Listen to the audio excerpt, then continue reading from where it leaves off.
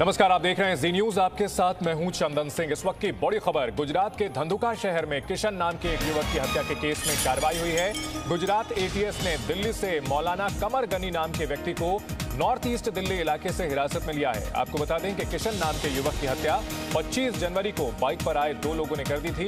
इसकी वजह social media पर एक अभद्र पोस्ट को बताया जा रहा है। जानकारी के मुताबिक गिरफ़्तार दो आरोपियों ने दिल्ली से हिरासत में लिए गए मौलाना कमर गनी का नाम लिया था। शुरुआती जाँच के बाद इस मामले को गुजरात एटीएस को सौंपा गया था और इस जाँच में अब कनेक्शन दिल्ली तक जुड़ा मौलाना कमर गनी को गिरफ़्तार किया गया है। हिरासत में लिया गया है, पूछताछ की जा रही है। मौलाना कमर गनी, जो कि काफ़ी विवादित शख्स रहा है और हमारे साथ इस खबर पर ज़्यादा जानकारी के साथ अहमदाबाद से हमारे सहयोगी मौलिक धमेचा जुड़ चुके हैं। मौलिक, गुजरात में मर्डर का कनेक्शन दिल्ली से जुड़ा है। क्या है ये पूरा मामला? क्या जानकारी मिल रही है अभी तक?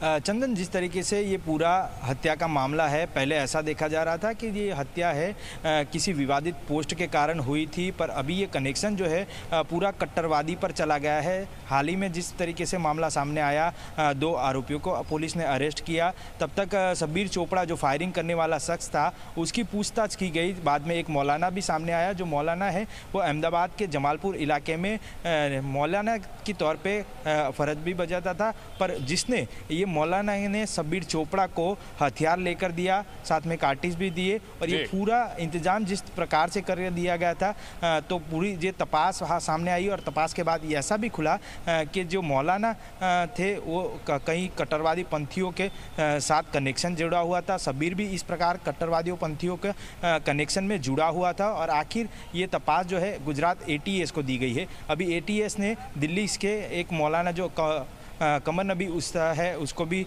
पकड़ा है। देर रात तक उसको अहमदाबाद लाया जाएगा और फिर तपास में क्या नया खुलासा होता है वो देखने रहा। जी मौलिक ये भी बताया जा रहा है कि जिन लोगों ने हत्या की है वो लोग पहले भी माइंड वॉश किए गए थे उनका ब्रेन वॉश किया गया था और जो मौलाना कमर गनी है इसी सिलसिले में उसे गिरफ़्तार किया गया है क्योंकि वो कट्टरवाद के लिए ब्रेन वॉश कर रहा था पिछले कुछ समय से।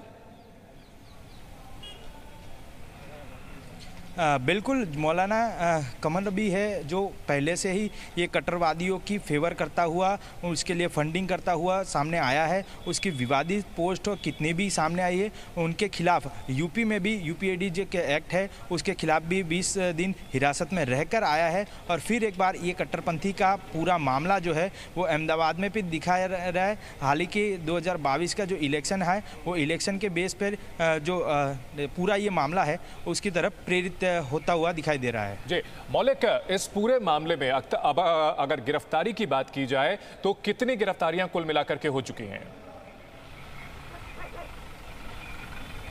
पहले की बात करूँ तो जब दंगदुका पुलिस के हाथ में ये तपास थी तो जब फायरिंग करने वाले और उसके साथ बाइक चलाने वाले दो शख्स की गिरफ्तारी की गई थी। बाद में मौलाना जो जावरा वाला था, उसकी भी गिरफ्तारी की गई और अभी माना जा रहा है कि जो कमर नबी है, उसकी भी गिरफ्तारी करके टोटल अब तक ये केस में चार आरोपियों की पुलिस ने गिरफ्तारी की गई है और भी जाँच जो है, वो दिल्ली तक पहुँची है, यानी गुजरात एटीएस इस मामले में आज शाम तक बड़ा कोई खुलासा भी करने की आशंका दिखाई देती है। जी। मौलिक अगर इस मामले की बात की जाए तो शुरुआत में ये मामला सामने आया कि किशन नाम के युवक की बाइक सवार लोगों ने हत्या कर दी और एक फेसबुक पोस्ट को आ, सोशल मीडिया पर पोस्ट को विवादित पोस्ट को इसकी वजह बताया गया। लेकिन अब इसे अगर देखा जाए तो कहीं ना कहीं एक पूरी साजिश नज़र आती है एक पूरा का पूरा नेटवर्क नज़र आता है जो कि कट्टरपंथ को बढ़ावा दे रहा है और निश्चित तौर पर युवाओं को बरगला रहा है। पुलिस के लिए बहुत बड़ी चुनौती है। बिल्कुल पहले जिस तरीके से ये पूरा मामले सामने आया था, तब धंधुका पुलिस में इस बारे में एफ़, किशन भरवाड़ के खिलाफ एक एफआईआर भी हुई थी और इसको जामीन पर भी मुक्त किया गया था। पर बाद में जिस प्रकार से ये, उसकी हत्या की गई और हत्या के बाद पूरा तपास का दौरा चला और दौरे के बाद ये भी मामले आया कि कट्टरपंथी का पूरा नक्शा पहले से ही तैयार किया गया था और इसी के खिलाफ इसकी हत्या जानबूझ कर की गई है। अभी गुजरात एटीएस को इसके तपास सौंपी गई है। आने वाले दिनों में और बड़े खुलासे होने की एक संभावना दिख रही है ताकि जिस प्रकार मौलाना की अंदर रोल सामने आया है तो मौलाना क्या क्या कर रहा था इसके पहले किससे मुलाकात की थी किस किस प्रकार के उनसे सभा की थी किन किन लोगों का उन्होंने माइंड वॉश किया था वो आने वाले दिनों में बाहर आ सकता है। जी। चंदन। आ, हमारे साथ नीरज गौड़ भी जुड़ चुके हैं दिल्ली से। नीरज मौलाना जो कमर गनी है इसके बारे में क्या जानकारी मिल रही है क्या प्रोफ़ाइल है इसका? इसके खिलाफ पहले भी यूएपीए के मामले दूसरे राज्यों में दर्ज बताए जा रहे हैं।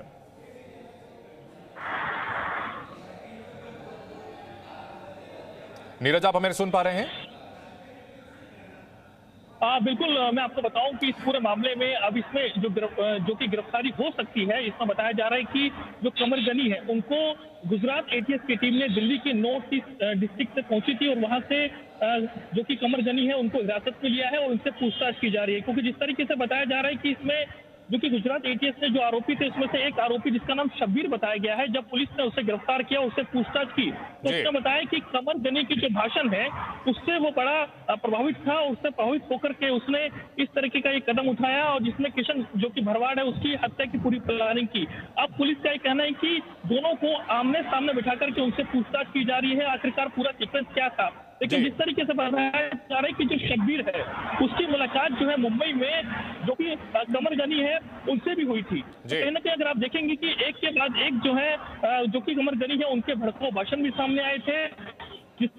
में एक भाषण जो है धर्म संसद के बाद दिया गया था तो उसको लेकर के कई बातें निकलकर सामने आई थी जो कि अब जो है गुजरात एटीएस पुलिस पूरे मामले की जाँच कर रही है जो पूरा सीक्वेंस है उसको जानने की कोशिश कर रही है कि आखिरकार ये क्या था। मैं आपको बताऊँ कि त्रिपुरा में भी क्योंकि यूएपीए के तहत में जो कि कमर गनी है उनको जो कि गिरफ़्तार किया गया था जिसके बाद में कोर्ट से उनको जमानत मिल गई थी।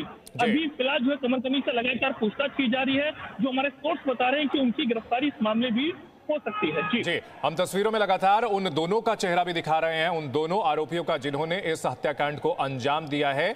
आप मौलिक अगर बात की जाए, इन दोनों शख्सों की शख्स की जो कि इस हत्याकांड में शामिल थे, इनका क्या इतिहास रहा है? क्या ये आपराधिक छवि के हैं या फिर सामान्य व्यक्ति हैं जिन्होंने इस हत्याकांड को अंजाम दिया है?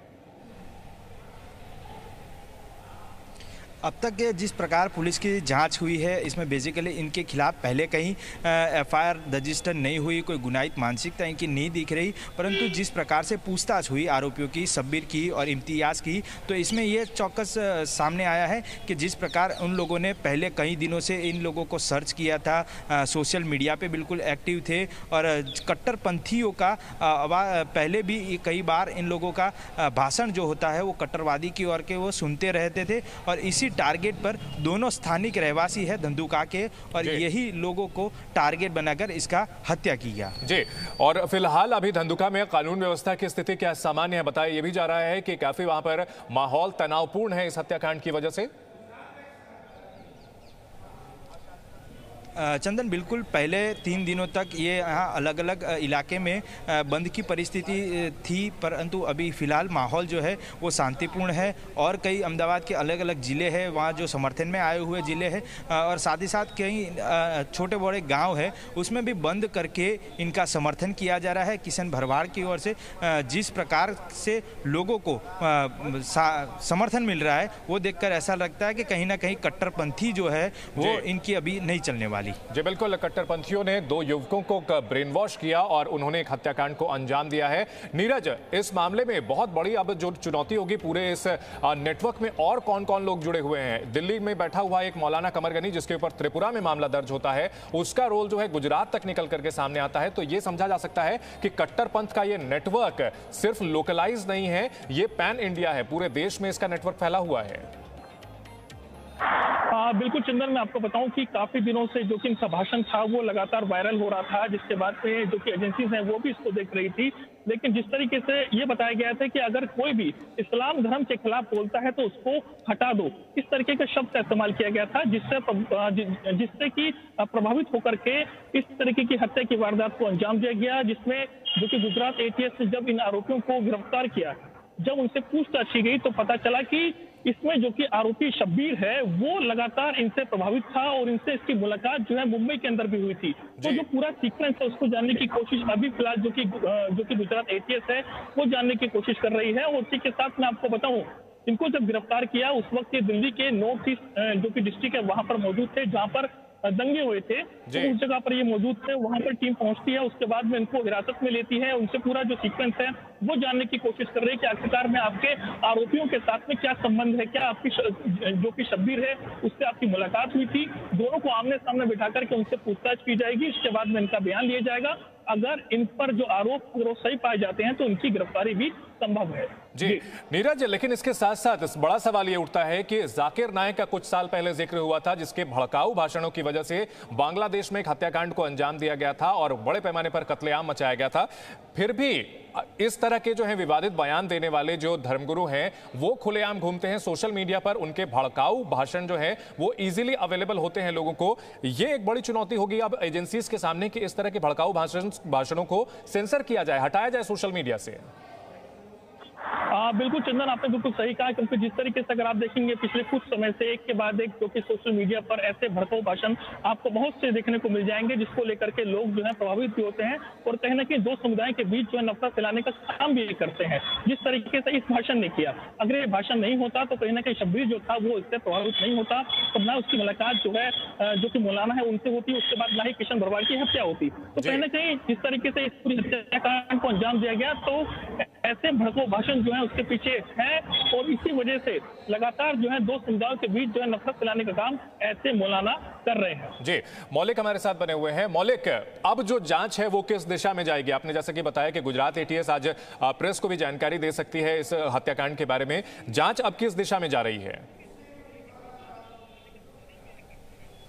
बिल्कुल जिस तरीके से अभी जाँच गुजरात एटीएस ने संभाली है आज शाम तक कमरगनी उस्मानी को गुजरात एटीएस लाया जाएगा। उसके बाद उसकी पूछताछ की जाएगी कि ये शब्बीर चोपड़ा को इम्तियाज़ को या मौलाना जावरा वाला है उनको पहचानता है कि नहीं पहचानता है? दोनों को एक साथ रहकर किस प्रकार से पूरा प्लानिंग किया था? ये हत्या के खिलाफ कोई पहले से प्लानिंग की गई थी कि इसका अलावा भी मौलिक मौलिक आपको रोकना चाहेंगे। इस वक्त हमारे पास एक वीडियो आया है इस वीडियो में आप देख सकते हैं पीछे वाली जो बाइक है, उसमें जो बैठे हुए दो लोग हैं, यही वो हत्यारे हैं जिन्होंने किशन की हत्या की है।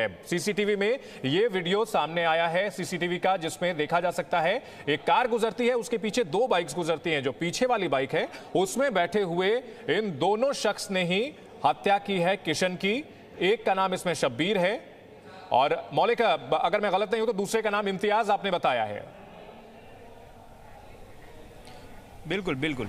जी, शब्बीर और मौलिक, इन दोनों का वीडियो हम आपको दिखा रहे हैं। सीसीटीवी कैमरे में कैद हुए हैं ये दोनों हत्यारे। और मर्डर का मौलाना कनेक्शन निकलकर सामने आया है। दिल्ली का मौलाना कमर गनी, उसके भड़काऊ भाषणों से ये लोग प्रेरित हुए। बताया ये भी जा रहा है कि जो पीछे की बाइक पे बैठे हुए दोनों नज़र आ रहे हैं शख्स। यही वो दो लोग हैं जिन्होंने किशन नाम के युवक की हत्या की। एक विवादित सोशल मीडिया पोस्ट को लेकर हत्या की गई और इस मामले में जबकि एफआईआर दर्ज की गई थी, उसके खिलाफ कानूनी कार्रवाई चल रही थी। आप गौर से इस तस्वीर को देखें। पहली बाइक नहीं, उसके ठीक पीछे वाली जो बाइक है, जिसमें दो लोग बैठे हुए हैं एसी में बैठे हुए हैं वो दो हत्यारे, जिन्होंने एक मौलाना जावरा वाला से हथियार लिया, पिस्टल ली और बंद गोलियाँ ली और किशन की गोली मार करके हत्या कर दी। ब्लैक कलर की एक बाइक जिस पर बैठे हुए दोनों हत्यारे नज़र आ रहे हैं। गुजरात एटीएस इस मामले की जाँच कर रही है। गुजरात में धुंधका शहर में हुए इस हत्याकांड के तार अब दिल्ली तक जुड़ चुके हैं। दिल्ली के मौलाना कमर गनी को गिरफ़्तार किया गया है। हिरासत में लिया गया है। पूछताछ की जा रही है और यह पता लगाने की कोशिश की जा रही है कि आखिरकार इस हत्याकांड के तार और कैसे हुए, जुड़े हुए हो सकते हैं। निश्चित तौर पर यह मामला काफ़ी संगीन है क्योंकि इसके तार त्रिपुरा से भी जुड़े हुए हैं। त्रिपुरा में यूएपीए दर्ज हुआ था मौलाना कमर गनी के ऊपर और अब उसका रुख उसका कनेक्शन निकल के सामने आया है। गुजरात के धुंधका शहर में हुए इस हत्याकांड में किशन की हत्या हुई और इस मामले में काफ़ी इलाके में तनाव भी पसरा हुआ है। 25 जनवरी को किशन बोलिया नाम के शख्स की हत्या की गई और इस मामले में दो लोगों को हिरासत में लिया गया, गिरफ़्तार किया गया। ये जो हत्यारे वीडियो में नज़र आ रहे हैं आपको। सीसीटीवी फुटेज जी न्यूज़ के हाथ लगा है और हम आपके सामने पेश कर रहे हैं। फेसबुक पर अभद्र टिप्पणी के आरोप में हत्या की गई। पूरी तरह से रेडिकलाइज थे ये दोनों युवक और कमर गनी के भड़काऊ भाषणों से काफ़ी प्रेरित थे। ऐसे में सवाल ये उठता है कि जब कमर गनी के फेस के वीडियोस भड़काऊ वीडियो सोशल मीडिया पर कैसे उपलब्ध थे, जिसमें वो लोगों को हत्या करने के लिए उकसाता हुआ नज़र आ रहा है। और हमारे साथ नीरज गौर भी बने हुए हैं। नीरज इस मामले में और क्या कुछ गिरफ्तारियाँ हो सकती हैं? क्या कुछ जानकारी मिल रही है? हाँ बिल्कुल आ, मैं आपको चिंतन बताऊँ कि जिस तरीके से इस पूरी हत्या की वारदात को अंजाम दिया गया तो पूरा सीसीटीवी अगर आप देख पा रहे होंगे तो इसको देखकर ऐसा लगता है कि कहीं ना कहीं इस साजिश को कई दिनों से रचा जा रहा था। इसकी बकायदा पूरी रैकी की गई थी क्योंकि जिस तरीके से किशन भरवाट कहाँ पर जाता है कहाँ पर आता है किस वक्त वो बाइक से निकलता है और जैसे कि हमलावर वहाँ पहुँचते हैं उसके बाद में उस पर फायरिंग करते हैं और बताया जा रहा है कि दोबारा उस पर फायरिंग करते हैं जिसके बाद उसकी मौत हो जाती है। और इस तरीके से बताया जा रहा है कि जो कि गुजरात एटीएस के सोर्सेज हैं उनका यह कहना है कि इस मामले में और भी लोग शामिल हैं उनसे भी उनको भी गिरफ़्तार किया जाएगा उनसे भी पूछताछ की जाएगी क्योंकि ये जो हत्याकांड है पिछले कई दिनों से इसको अंजाम देने की जो प्लानिंग थी वो रची जा रही थी क्योंकि जिस तरीके से इसका जो कनेक्शन है वो दिल्ली से पहुँचा है तो कहीं ना कहीं इस मामले में और भी लोग हैं जो कि एटीएस के निशान तो उनसे भी पूछताछ इनको गिरफ़्तार किया जाए बहुत शुक्रिया नीरज और मौलिक आपका इस खबर पर जुड़ने के लिए हमें अपडेट देने के लिए। गुजरात के तारापुर से हमारे संवाददाता बुरहान पठान की इसी खबर से जुड़ी हुई रिपोर्ट देखिए। गुजरात के धंधुका में मालधारी युवक की हत्या को लेकर लोगों में काफ़ी आक्रोश देखने को मिल रहा है। आनंद ज़िले के तारापुर में भी हिंदू संगठनों द्वारा तारापुर बंद का आह्वान किया था। इस आह्वान पर तारापुर के व्यापारियों ने अपने दुकानें बंद रखी है। यहाँ पे देखा जाए तो सभी दुकानें बंद है। लोगों ने, व्यापारियों ने अपनी दुकानें बंद रखकर मालधारी युवक की हत्या को लेकर अपना विरोध जताया है। यहाँ पे देखने को मिले तो यहाँ पे जो व्यापारी है, उन लोगों ने बंद रखी है, लेकिन कुछ मिला जुला असर पड़ रहा है। यहाँ पे कुछ दुकानें खुली है और कुछ दुकानें बंद है। ज़्यादातर हिंदू क्षेत्र के जो लोग व्यापारी है, उन लोगों ने अपनी दुकानें बंद रखी है। हालाँकि विधर्मियों की दुकानें खुली रही है। यहाँ पे देखने को मिले तो जो ज़्यादातर दुकानें बंद रहने से लेकर यहाँ पे जो तारापुर बंद का आह्वान किया था, वो सफलता दिखाई दे रही है। Burhan Pathan, Zee media, Anand. Presenting B News app, available on Google Play and App Store. Download it now.